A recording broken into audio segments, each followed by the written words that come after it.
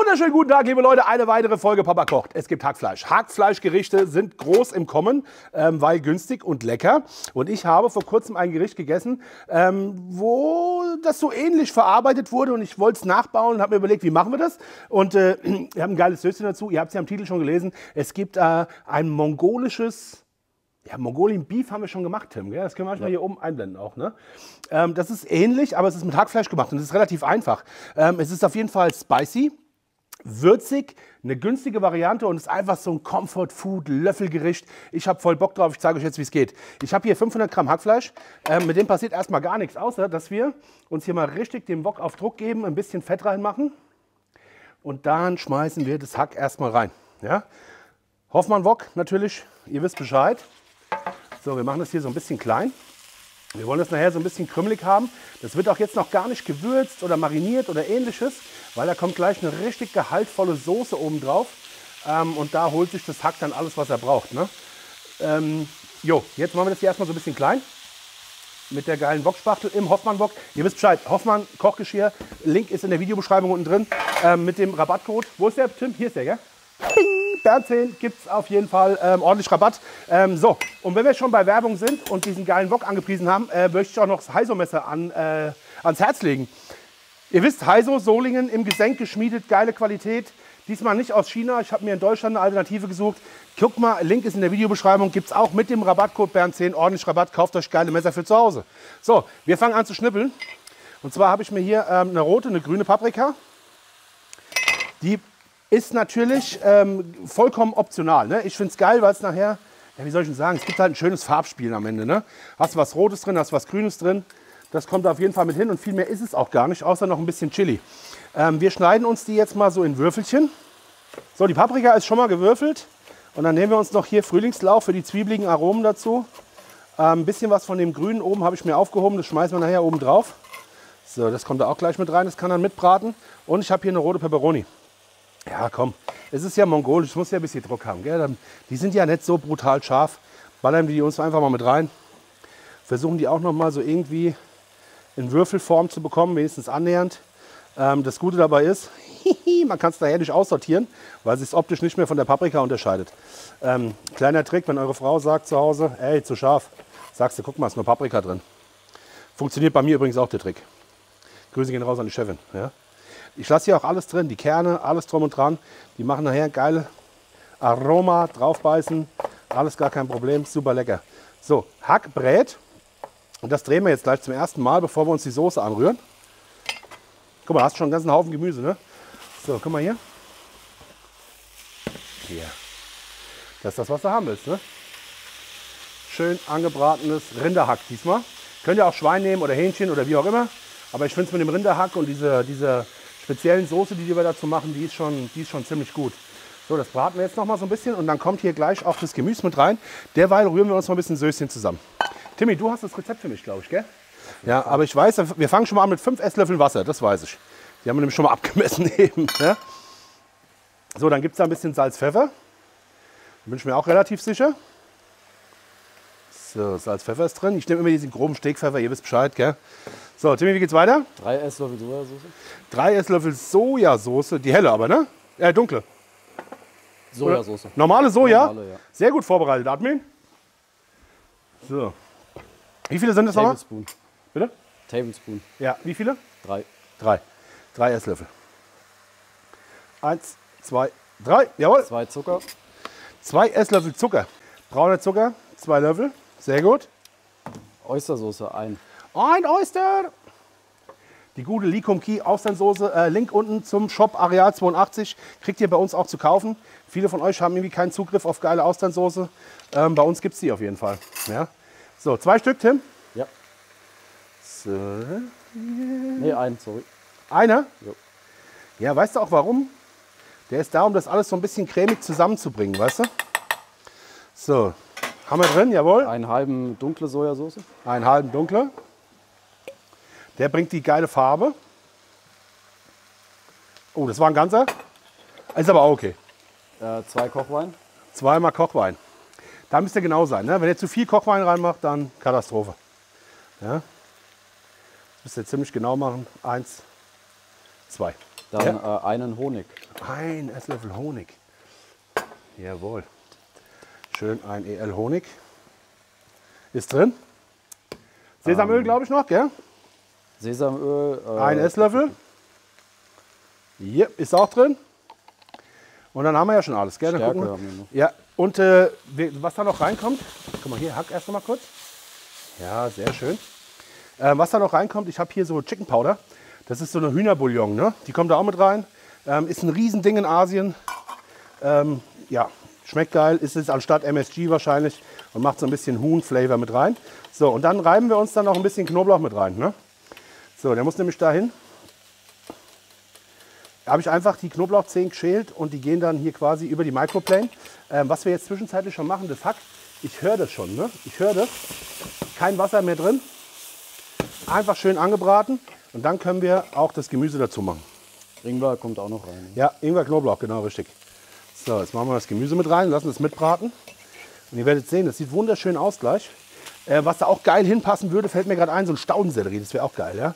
Ich stehe ja geschmacklich voll drauf, also Staudensellerie auch eine Option für das Gericht. So, und dann durchschwenken, schön auf Power und dann geht's weiter. So, Knoblauch reinreiben. Ne? Haben wir gesagt, ah! Ein ganzer Knoblauch ist weg. So, dann, ich mag das gern gerieben. Ähm, ich finde es geil, das lässt so richtig, weißt du, es ist anders als gepresst. Ne? Es lässt dann so richtig die, äh, den Knoblauch, die Power raus und los. Ne? Ähm, das ist auf jeden Fall, guck, hier unten kommt dann so geil, Tibi zeig das mal, kommt dann so ganz fein geriebener Knobi raus. Ähm, das ist Tibi-Tobi. Aber ihr seht es ja auch da in der Kamera, glaube ich. Gell? Man sieht es ja überall. in die Richtung. Wir sehen es ja überall, gell, Tim? Ja, so. Und wenn hier so ein kleines Stückchen übrig ist am Ende, einfach mit reinschmeißen, das fällt überhaupt nicht auf. Zwischendrin immer noch mal den Wok wocken lassen. Und Wunderschön. Die Leute immer wieder fragen, helle und dunkle Sojasauce. Was ist der Unterschied? Ja, guck mal, ich habe das ja schon mal gezeigt. Ähm, die dunkle Sojasauce, die ist ein bisschen dickflüssiger und viel intensiver von der Farbe her.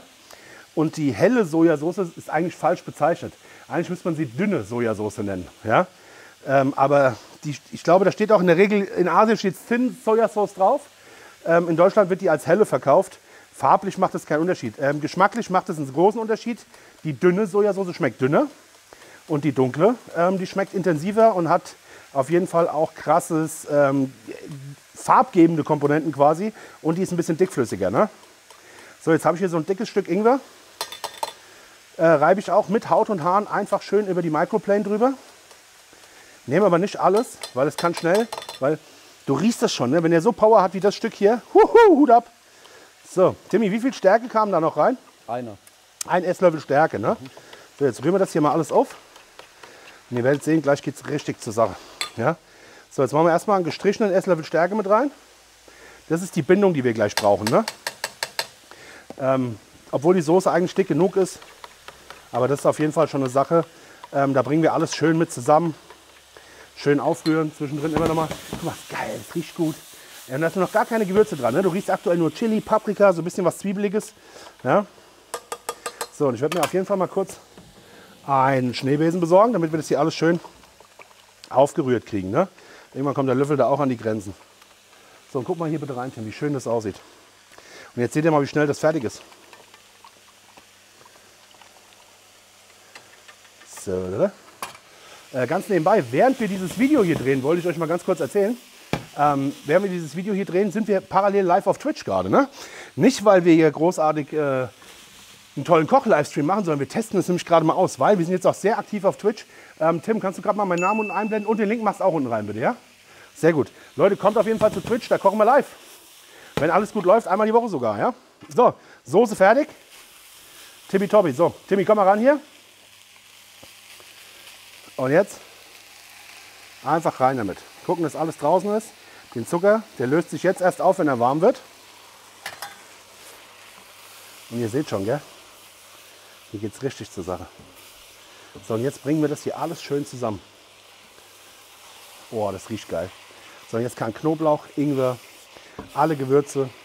Jetzt nehmen wir auch so ein bisschen Temperatur raus. Jetzt gehe ich mal auf 6 von 9. Das ist so wunderschön. Guck mal, wie geil das aussieht. So, das lassen wir jetzt so ein bisschen warm werden, aufkochen. Fertig ist das eigentlich schon. Und guck mal, wie geil diese Wokspachtel, ne? die gibt es auch ähm, bei Hoffmann. Die passt dazu, die passt hier perfekt, perfekt rein. Wir lassen es so ein bisschen aufkochen. Ähm, ich mache hier kurz ein bisschen Ordnung, besorge mir ein bisschen Reis und äh, dann servieren wir auch schon das Essen zusammen. So, fertig ist es. Wunderbar. Ah, schön. So, rüber damit. Äh, Schüsselchen mit Reis. So, jetzt pass auf. Guck mal hier, Timmy, das musst du dir mal wirklich aus der Nähe angucken. Ist das nicht wunderschön? Guck mal, die Konsistenz auch. Ja, da ist hier unten keine Soße mehr drin. Das zieht sich alles wunderschön übers Hack drüber. Das ist nicht so ein suppiges Ding, sondern es ist einfach nur, das ist wie so ein dick gekochtes Chili con Carne. Aber die Aromen, die wir da drin haben, ne, die sind auf jeden Fall, das ist ein anderes Level. So, jetzt haben wir hier Reis unten drunter. Dann geht das hier oben drauf. Noch ein bisschen in die Mitte. So, und oben drauf machen wir äh, so ein bisschen Koriander und Frühlingslauch. So, und davon machen wir jetzt ein Foto. Und wenn wir das Foto gemacht haben, das ihr schon gesehen habt, dann essen wir zusammen. Okay, Leute, guck mal hier, wie geil das aussieht. Ah, hier. Fokus on point. On point.